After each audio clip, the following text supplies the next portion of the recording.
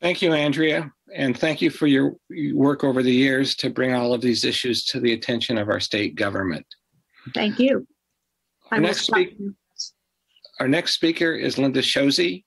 She's a proud Latina woman. She's a mother, grandma, wife, and founder and organizer of the grassroots community organization, Mothers for Safe Air and, Wa- and Safe Water in Tucson, Arizona.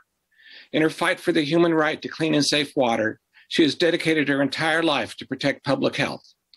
Linda has become one of the leading voices nationally regarding PFAS exposures in Latino barrios. Linda lost her child in 2007 due to a rare disease Linda believed was as a result of exposures to numerous toxic chemicals that contain PFAS associated with drinking water contamination on Tucson's Southside Barrio. More recently, Linda has begun initiating a community led PFAS health study in her community to assess for PFAS in human blood.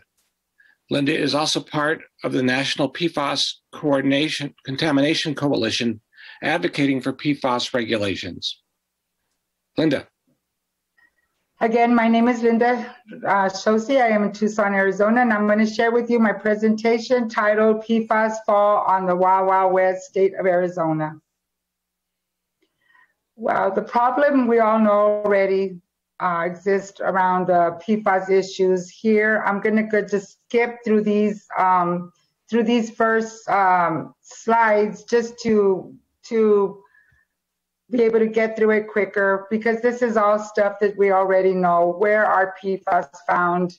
How? What are the main routes of exposures to PFAS, and what are those health effects that we already know about? Um, also, we also know who are the main polluters or manufacturers of the PFAS chemicals, um, 3M, Buckeye, Chemguard, uh, Tyco, and National Foaming Corporations. I also included on this slide um, the Biden administration and what they're doing about the PFAS issues. Um, currently, that what I know is on February 22nd, um, EPA acting administrator uh, for water, Radhika Fox, issued two actions in support of the agency's authority to, in consideration of possible PFAS new drinking water standards. Um, those include the EPA repro- reproposing the fifth uh, UCMR, and also the agency has is reassuring final regulatory determinations for PFAS under the Safe Drinking Water Act. In the state of Arizona, we are uh, corporate polluters are four sites within the DoD um, operations. In the city of Tucson area, PFAS contamination corporate source pollutes are the Morris Air National Guard and the Davis-Monthan Air Force Base Air Force Plant 44. In 2019, PFAS detected detections were between 11 to 13,000 parts per trillion, more recent results show little changes times that to 100 times. I, I used an exposure mapping study to conduct my uh, presentation. My first question was, where are PFAS environmental exposures located?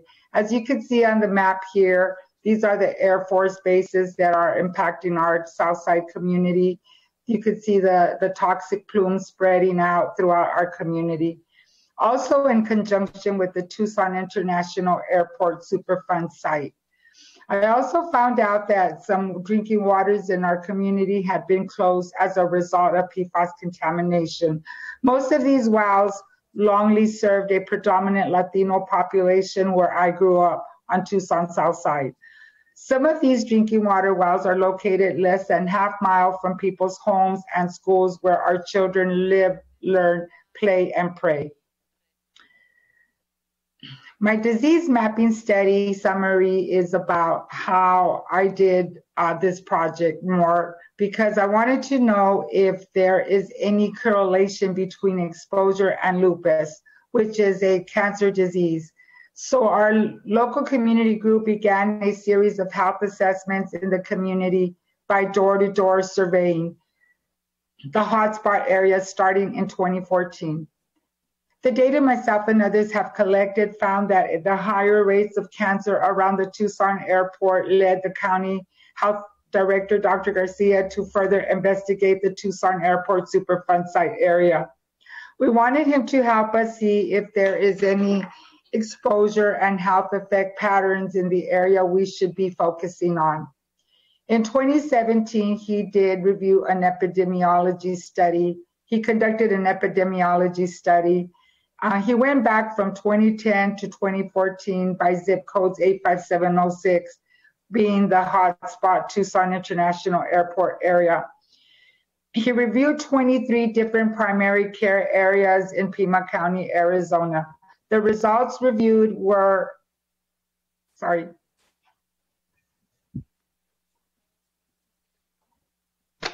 The results he reviewed were indicating a significant invasive cancer incident rates than those of Tucson foothills areas, as you can see here on the registry.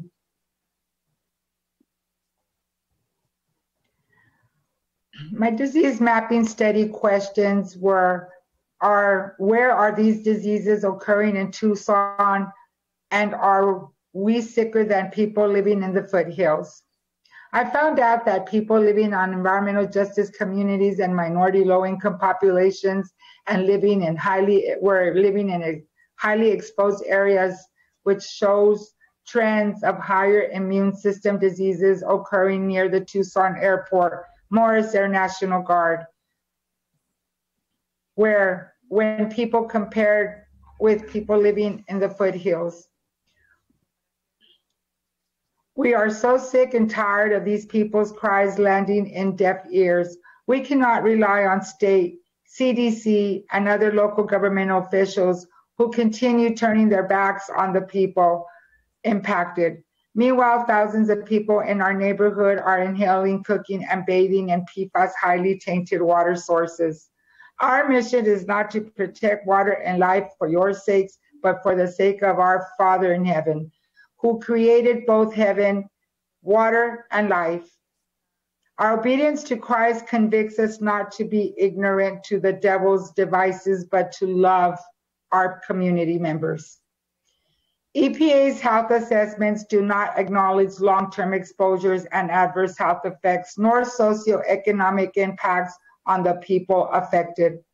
Due to the lack of funding, the Environmental Justice Superfund environmental justice provisions continue to fail. Meanwhile, thousands of contaminated sites remain unclean for more than 40 years, such as ours.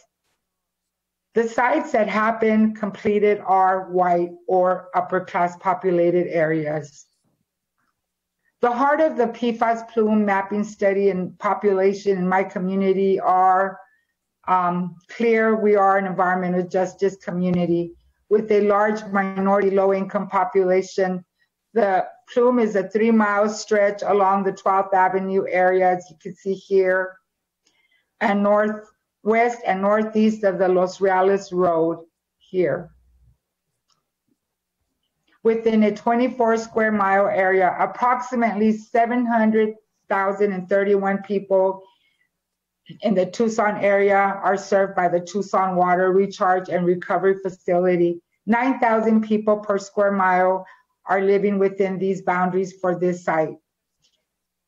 It's reported a community population of 675,686, 90% of which identify as Latinos. We also found out that a pipeline conveyance of reclaimed water connected to the Tucson Airport facility plume is located only 50 feet from a drinking water well and sidewalk that serves the C.E. Rose Elementary School and C.E. Rose neighborhood located on the corner of 12th Avenue in Michigan here in this area.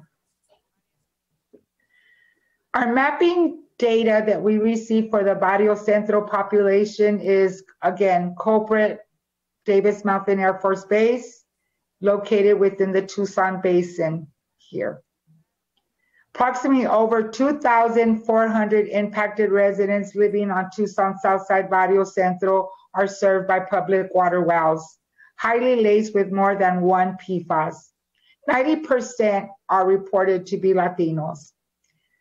There is also a significant group of over 50,000 Mexican immigrants living in this area. Disease mapping for other sources which means that there are not just Air Force areas that are impacted, but are being the sources, but also we have a Superfund site that has also distributed to the water contamination. The blue shaded area is not the PFAS plume itself, but it presents the community-wide exposures to PFAS coming out from the city of Tucson water distribution area, also known as A-zone, and several PFAS contamination sampling points here. The SPs are your sampling points.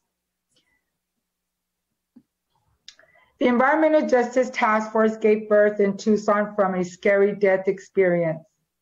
Many people ask me why I got involved in the fight for human rights to the freedom of speech and the human rights to clean water and demand government transparency and accountability. I got involved because I witnessed the death of my daughter. Her last words to me were, Mom, I'm scared. Hearing your child saying, he, hearing your child saying she's scared while she's passing away is extremely devastating.